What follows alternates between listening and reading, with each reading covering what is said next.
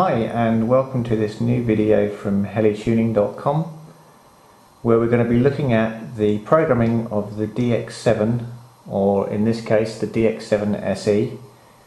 Uh, both these two radios have pretty much exactly the same functions within them and, and are programmed in exactly the same way.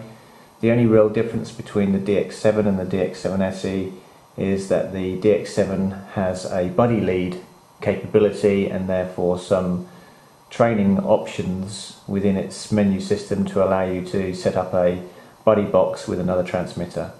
Um, so I won't be covering that in this particular video because the DX7 SE doesn't have that capability. Uh, but for the rest of the programming capabilities that's exactly the same as the DX7 uh, and we will be going through that and having a look at how all of the programming functionality works a step at a time looking at each function that uh, the DX7 SE provides. Okay, so the first thing I'm going to look at is how we access the menu functions on the DX7.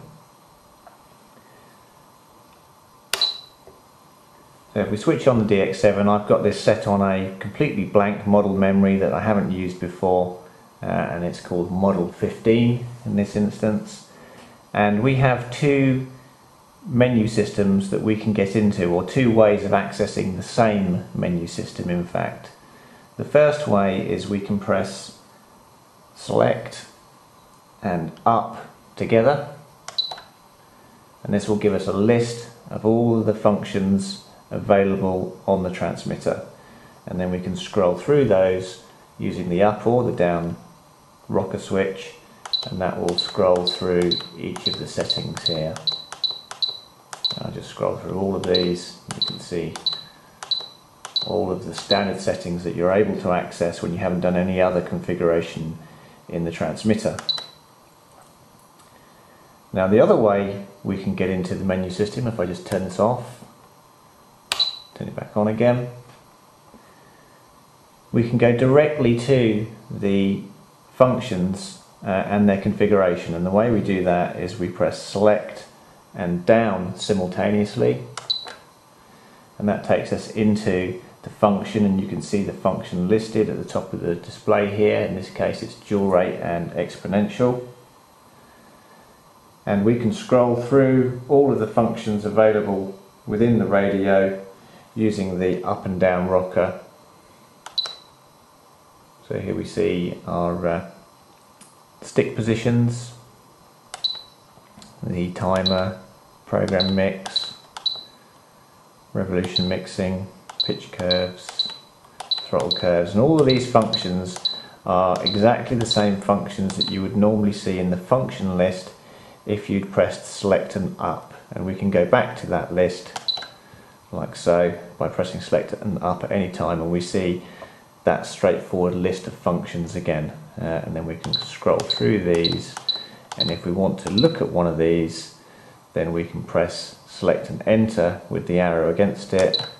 And that will take us into throttle curve. If we want to go back to the list press select and up.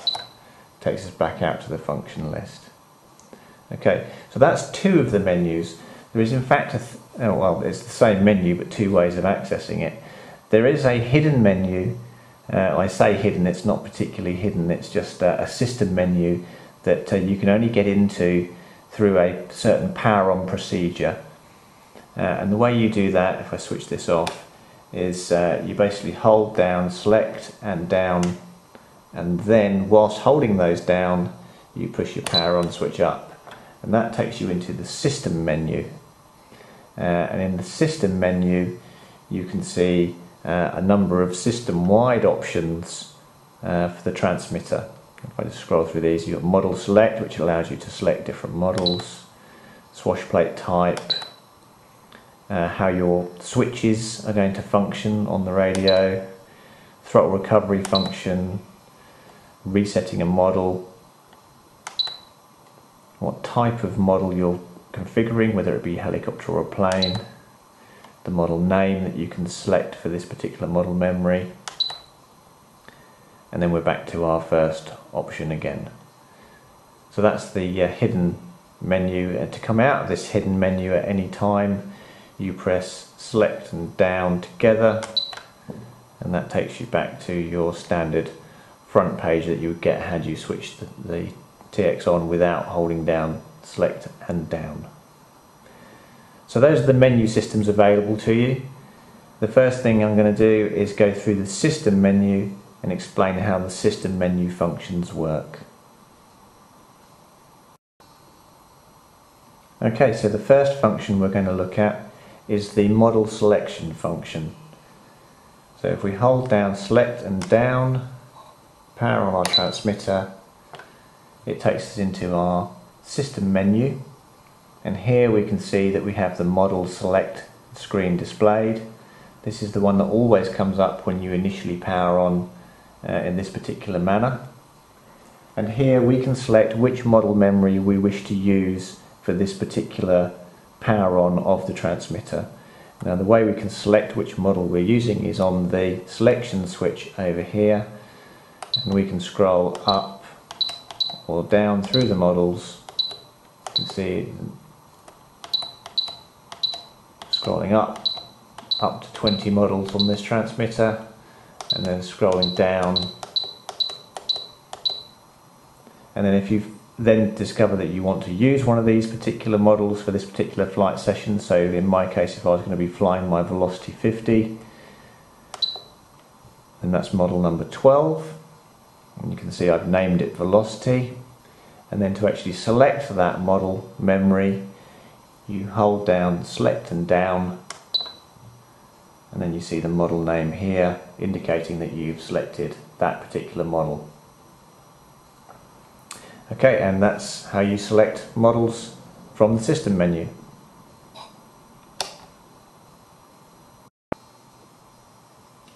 Okay, the next function we're going to be looking at is how to specify a name for your particular model memory.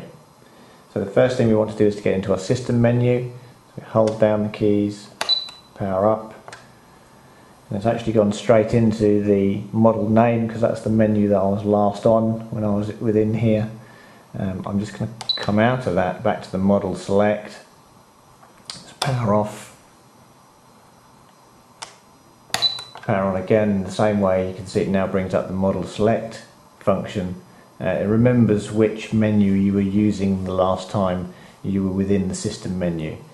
The one we want to use is the model naming function and we can get to that by pressing up to scroll through our available functions and up will scroll through all of them there aren't many so if we get back to model name and here you can see we have an arrow which indicates where we're changing a character and we can move that arrow by pressing the select key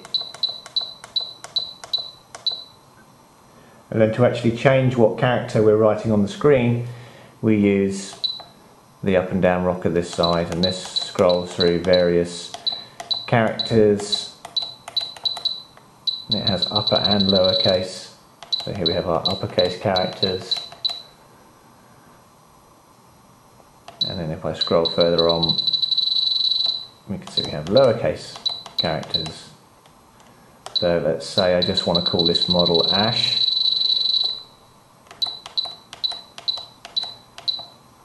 There's the first letter, press select, takes us to our next letter. I'm going to go for a lowercase s this time.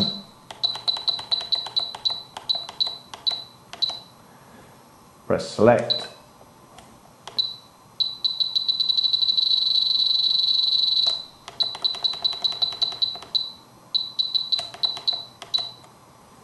Press select again. And then when you've finished naming your model and you're happy with it you press select and down to complete. And there we go we have our model name dash. Now let's say we decide that we don't want to keep that name we actually want to change it go back into our system menu scroll forward on this side and we can press clear and that will clear that letter press select clear select clear and then we can press select to get back to the start again and we can put a different name in. and then when we were finished we would press select and down again and that will complete the operation and put the name of the model in for us. So that's how you name models. The next function we're going to look at is how you switch the model memory between being for a model aeroplane or for a model helicopter. So the first thing we want to do is we want to get into our system settings. Hold down the two keys, power on, brings us to our system menu and we're currently dealing with model 15. If we move forward to the type select menu and then using the up and down or the increase and adjust rocker on the right hand side here we can switch between acro mode which is for aeroplanes or heli mode which is for helicopters. If I select acro mode you then press clear key as it says here to say yes and that puts you in acro mode and this will now if I come out of the system settings you can see we've got a plane so we're in aircraft mode I go back into the system menu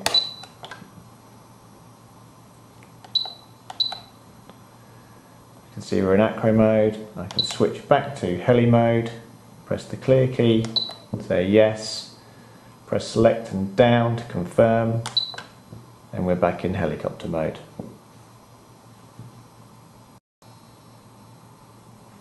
The next function we're going to look at is the model reset function or the integral timer reset function, which are both on the same system menu screen.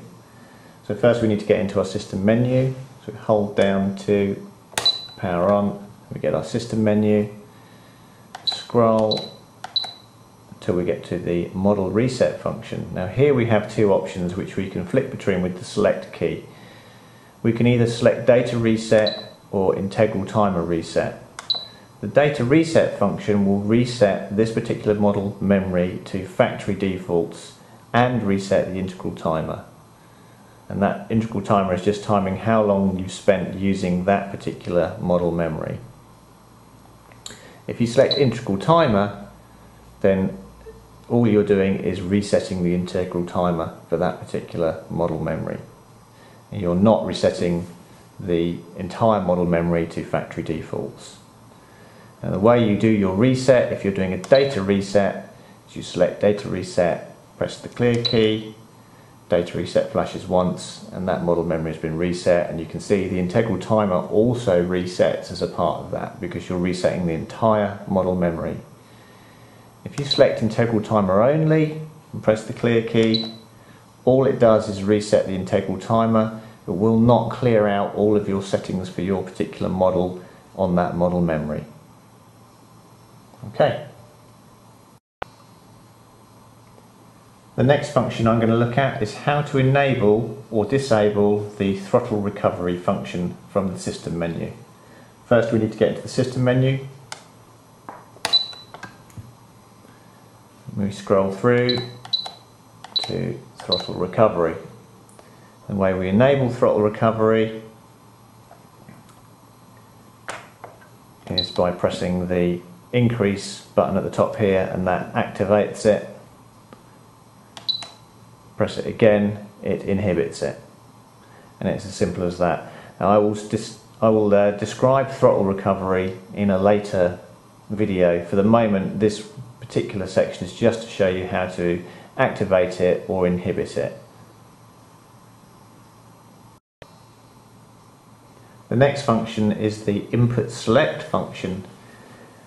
Uh, the way you get to the input select function is it's within the system menu. So we hold down the two buttons and power on to get into our system menu. And then we scroll through to input select. Now what this menu does is it allows us to decide which switch is going to control one of two different channels. So we have the AUX2 channel and the gear channel and we can select between them with the select key. So if I want to change which switch activates the AUX2 channel or toggles the AUX2 channel or controls the way the uh, AUX2 channel works and I can do that by using the increase or adjust rocker And by pushing that, I've now switched AUX2 control to the F-mod function of the radio, or I've inhibited it, or I set it to the gyro function of the radio, or back to the standard AUX2 switch. So there are three different ways AUX2 can be controlled, F-mod, gyro, or the AUX2 switch itself.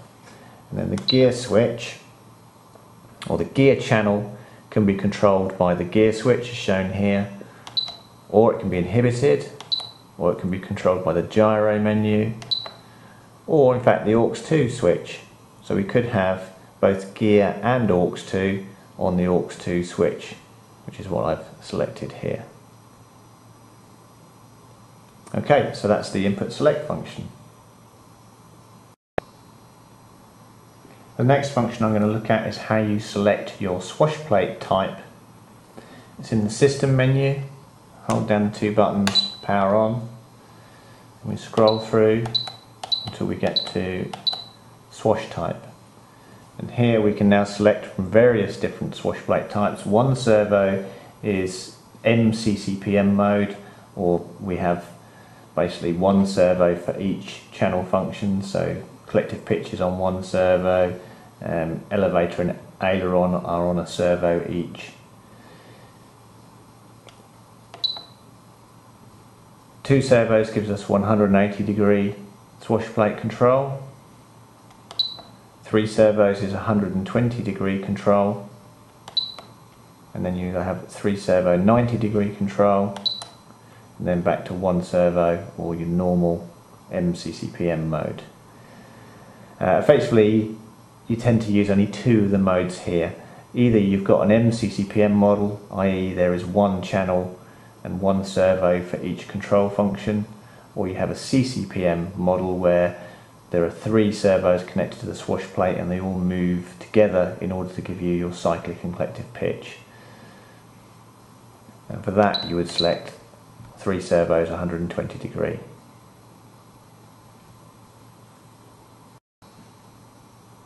Okay, the last function I'm going to explain in the system menu is the model copy function, which allows you to copy one model memory to another.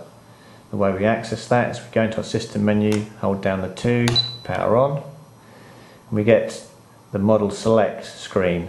Now we press select and that puts us into copy mode and this allows us to now do a copy of the currently selected model memory, which is model 15, and then with the rocker switch we can select which model memory we want to copy to. So let's say I want to copy to model 17 and when you're happy hold down the clear key and it copies from model 15 to model 17.